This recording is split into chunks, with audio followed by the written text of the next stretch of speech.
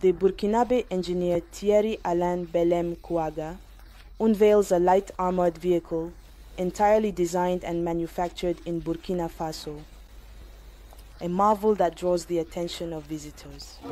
The result of more than 24 months of hard work, this vehicle is the outcome of the efforts of a team of Burkinabe engineers and technicians aiming to meet the specific needs of the national armed forces.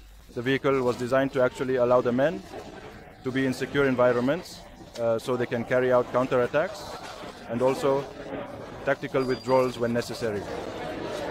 So it's a vehicle we've called a light armored type because in any case it keeps the men safe, allows them to move quickly uh, and also carry out assault missions.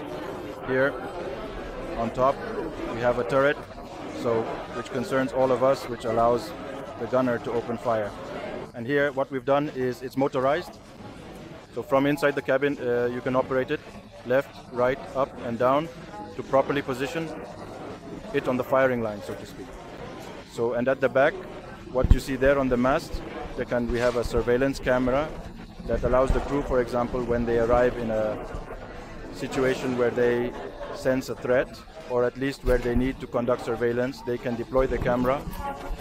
And with this camera, they can see up to 10 kilometers using thermal or night vision.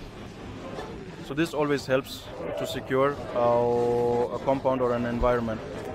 Here we have, as you can see, all the ballistic tests that have been carried out. So the tests were conducted from automatic pistols up to the PKMS. And for the windows as well, we did the tests and they passed.